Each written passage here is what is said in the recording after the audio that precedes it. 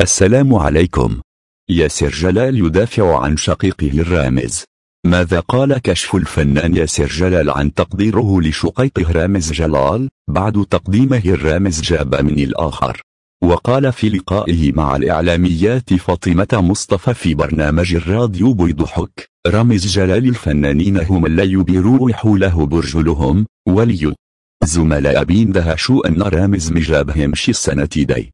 وتابع. رامز أصبح مش ظاهرة لكن حقيقة. كل الفئات تشاهد حتى المتحفظين على شغله. وأوضح أحيه على شجاعته واستمراريته وقوله أنت راجل أنك متحمل كل الضغوط. دي وفاضل زي ما أنت نجم النجوم. وأردف رمز بيعمل خير كبير وشانك الدهر ربنا بيوفقه دائما. وها هنا قد وصلنا إلى نهاية الفيديو. أرجو أن يكون قد نال إعجابكم.